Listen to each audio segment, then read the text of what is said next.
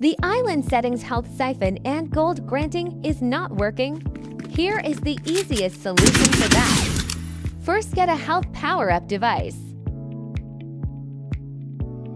Here, set the stat to modify to both, effect to set to, and effect magnitude to 100. Effect duration to 1 second to let the effect apply, and respawn time to 1 second as well.